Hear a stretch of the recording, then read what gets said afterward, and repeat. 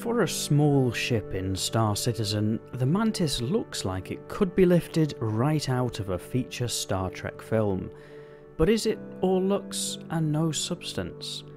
I'm Farrister, and in this video I review the Star Citizen ship, the currently flyable RSI Mantis. The Mantis is an interdiction ship, whose somewhat unique talent is a quantum snare. For those of you who've seen other ship reviews on this channel, you know what to expect. This video is split into five sections, starting with a ship tour, assessing combat performance, reviewing handling and visibility, looking at the operating costs before finally summarising. I've included timestamps in the video description to help navigate to each part of the review, and if you're one of the three quarters of people watching who isn't yet subscribed to the channel, you may choose to subscribe to be notified of future videos. Part 1 Ship Tour An entry to the Mantis is via an elevator which is deployed underneath the centre of the ship. The control to bring the elevator both up and down is located on the underside of the ship. This takes you up into the main body of the Mantis. The pilot's chair is right to the front. Off to the port side there is a bed. And off to the starboard side is component access and a coffee machine.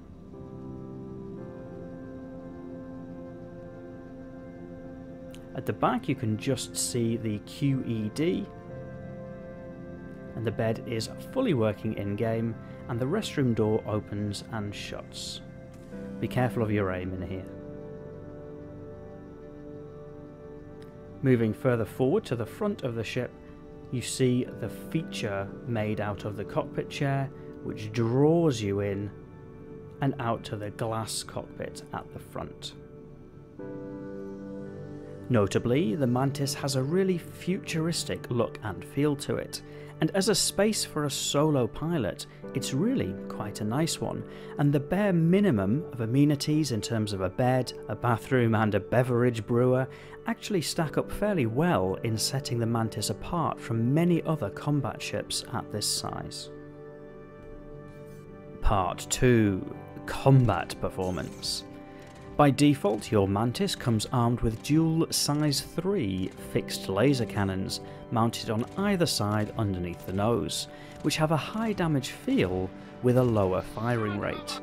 They let you engage at long range, which seems appropriate for an interdiction ship, although the fixed positioning and slow fire rate can make it challenging to hit smaller ships.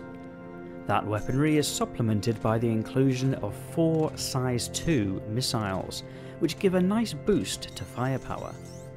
Flying the Mantis, you might however choose to swap those missiles out, either for size 3 missiles for the longer engagement range, or size 1 missiles to be able to more effectively engage targets up close.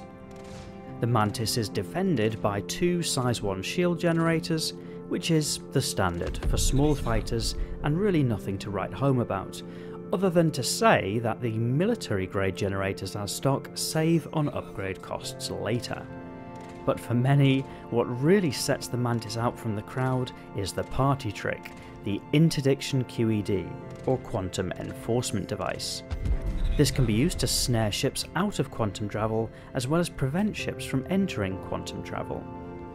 After a while testing the ship, the original script for this video said that really it's a gimmicky feature and not hugely useful in game at the moment, although recently there was a post on Reddit about somebody effectively using a QED to disable and board a cutlass with valuable minerals aboard, which the pirate then sold. Although I certainly wouldn't encourage that sort of behaviour, and using the QED is likely to leave you with a criminal record. Part 3 Handling and Visibility. Starting with visibility, because of your position in the pilot's chair being so far forward, it feels really good. In reality, you're fairly limited with visibility out to the sides, above and below, but because of the way the glass cockpit draws you in, you mostly feel like you can see what's going on. The engines do a great job with acceleration to the top speed of 1220 meters per second, and braking performance is also very reasonable. Even slightly above SCM speeds, the Mantis feels responsive, and because of the military grade coolers, is quite happy to accept boost to keep the nose pointed where you'd like it. Those are all very appropriate qualities for an interdiction ship, and although the SCM speed at 168 meters per second is considerably slower than many fighters, the Mantis is comfortable to fly outside of that recommended limit. Landing can be a challenge, but not for the reasons you'd think. Actually, gracefully landing the Mantis isn't too bad once you recognise that the gear is towards the front of the ship but trying to get the pad to recognise that you've landed is a tough job entirely, usually only achieved by switching the engines off. The Quantum Drive is fairly quick and has a low cooldown, but the range is also very limited, with the Mantis not quite able to make the distance between Hurston and Olisar without a fuel stop. So it's either a ship to operate at short range or sadly to downgrade the otherwise excellent quantum drive. Part 4 Operating Costs. With fairly small fuel tanks, and especially with the stock laser weapons, the Mantis is incredibly cheap to operate, with costs usually in the low hundreds. Moreover, the weaponry is powerful enough to deal with some fairly meaty combat contracts, which see the Mantis easily turn a profit. The Mantis also features plenty of internal space and entry via an elevator, and so the various contracts that require physicalized storage, such as box delivery missions, are also feasible with the Mantis and there's room for another player too, even informally seated on the bed, meaning that on the off chance that a player offers payment for transport from A to B, if you're feeling particularly trustworthy, that might be an option too. Part 5 The Verdict. There's a lot to like about the Mantis. Firstly, aesthetically, it looks great, both inside and out, with a futuristic feel to it. The flight model is really nice, and even without much time in the cockpit, the Mantis is really easy to fly.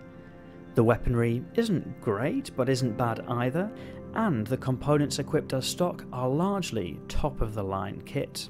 Plus, they're not really seen around the verse too often, so you get the cool factor of people seeing your ship with curiosity. There are some gripes, mostly about the fairly limited utility of the QED in game at the moment, but also that the landing gear bugs out from time to time and you have to toggle the QED just to get the landing gear to do what you want. At 1.2 million Alpha UEC in game, the Mantis actually comes at a fairly accessible price point. The Mantis is also available for $150 as standalone in the Pledge store, which is a little steep, as if you're willing to spend that much, you might prefer to buy something else, such as a Hornet, and earn the Mantis in game. And that in game price makes this actually a really interesting buy option, hovering around what you'd pay for a Gladius, but trading off firepower for the QED and some internal space instead. Hopefully, as more gameplay features come online, the Mantis will bloom into something even more interesting. But do you agree? What do you think of the Mantis? Let me know in the comments. And if you've enjoyed this video, you might press that like button, you might also be interested in my review of the Cutlass Blue as an alternative. Otherwise, as ever, thank you for watching.